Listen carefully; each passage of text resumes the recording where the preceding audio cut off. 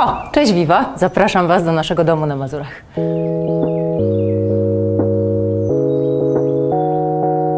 wiem, po co się świeci światło, nie powinno tego być, absolutnie. Nie lubimy tego, gasimy wszystko. Od drugiej strony, muszę się nauczyć jeszcze bardzo dużo.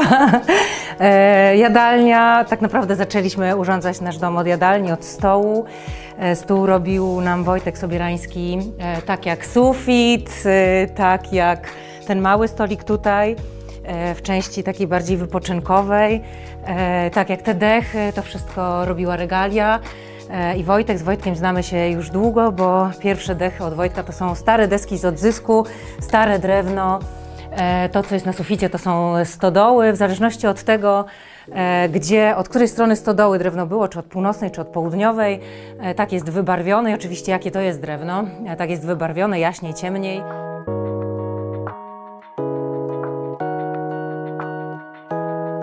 Dobry, Kluska. Kluska jest pieskiem adoptowanym Agaty, czyli siostry mojego e, Daniela. Jest Kewiś, który jest naszym pieskiem. Tak, tak, dogadujecie się ze sobą i świetnie. E, No więc to jest taka część wypoczynkowa, w której można zrobić kino domowe nawet w ciągu dnia w ten sposób. Ya! E, Zasłaniamy wszystko i możemy sobie spokojnie oglądać, ale na razie zatrzymamy to. To jest e, z takich smaczków e, nasz, ulu- nasze ulubione drzewko oliwne, o które walczymy, bo się wdał mu wełnowiec. Lampy robiła na przykład Justyna Górecka z Ublika. Wspólnie z Anią Kukdutką Ania nam projektowała wnętrze naszego domu i domu gościnnego, który stoi obok. Cały dom, e, tak jak widzicie, jest takim trochę domem z odzysku, e, bo bardzo dużo jest w nim elementów, e, które, które są właśnie z, gdzieś odzyskane skądś. I ten stół, i podstawa stołu. Tego tu jest naprawdę bardzo dużo. Nawet jeśli wykorzystywaliśmy elementy tak jak drewniana podłoga, to, to też istotne było dla nas, żeby to było drewno z certyfikatami.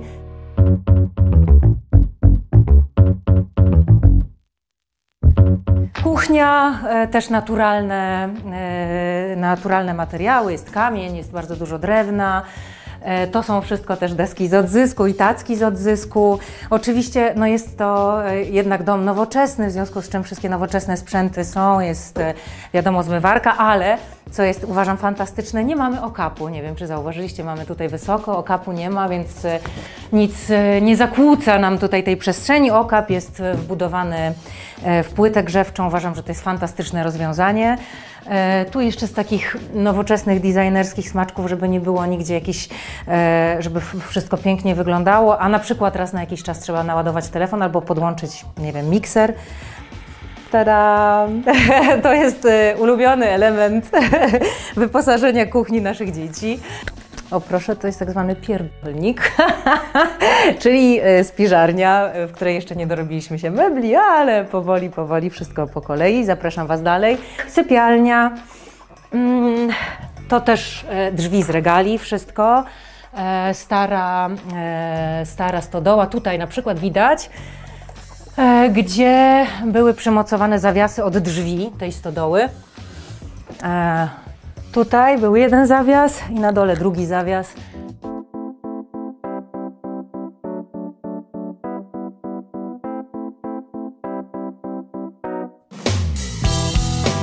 No i nasza łazienka, e, tak zwana, jak to Ania nazywała, inwestorzy tak mówią, ła- łazienka e, master, ta, ta główna, e, master bedroom. e, Z wanną, bo Daniel bardzo lubi, lubi wannę. Ja się bardzo rzadko w niej kąpię, ale teraz jak mamy maluszka, to ona się przydaje. Prysznic po tej stronie. E, No, a, i to jest taki, taka też rzecz, którą bardzo lubię. E, umywalka z, z jednego kawałka kamienia. E, pięknie się tutaj wkomponowuje. Taki jeszcze z takich śmiesznych elementów to jest lustro, którym e, można przesuwać w zależności od tego, czy chce się mieć odsłonięte e, całe okno, czy tylko część. Tam widać panele słoneczne. Na zewnątrz i dom po drugiej stronie, ale jest przestrzeń jeszcze niewykończona, więc to tutaj będzie zieleń posadzona. Będzie zrobiony taki taras e, i, i po bokach będzie zieleń, więc będzie bardzo pięknie. To z kolei taka, e, taka inspiracja Bali, bo tam e, jak domy stoją blisko siebie, to właśnie tą zielenią wypełnia się całą przestrzeń i tak też chcemy zrobić tutaj. Prowadzę Was dalej, tylko pogaszę światełka wszędzie. Tutaj jest mała garderobka. E, mała garderobka, która też jest na razie takim no, bałaganem. To jest też taki trochę mój kącik pracy, bo e, tutaj mam lampkę. Muszę się do niej dokopać.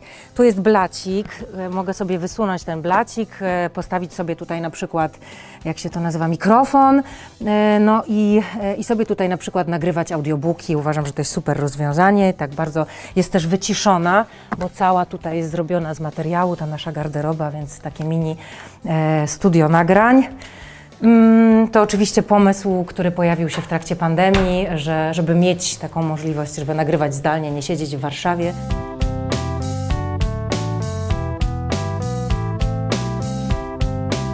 O tych obrazach chciałam Wam jeszcze powiedzieć, które też znalazła nam Ania Kugdutka. Idealnie wpisują się w naszą przestrzeń. Na początku były tylko na wypożyczenie, ale kochamy je bardzo. To są obrazy e, Marcina Brodowskiego. E, I no, zostały z nami, bo nie wyobrażam sobie, żeby w tym domu wisiało cokolwiek innego. E, opowiedziałam Wam chyba wszystko, e, co, co mogłam powiedzieć o naszym. Nie, no na pewno, nie, na pewno jest jeszcze mnóstwo historii, ale być może właśnie zechcecie nas odwiedzić, przyjechać i przy okazji będę, będę mogła Wam osobiście poopowiadać trochę o naszej przestrzeni. A teraz chyba Was odprowadzę, bo ja bym bardzo chętnie nakarmiła mojego maluszka, więc Wam mówię do widzenia, szerokiej drogi. No i oczywiście zapraszam.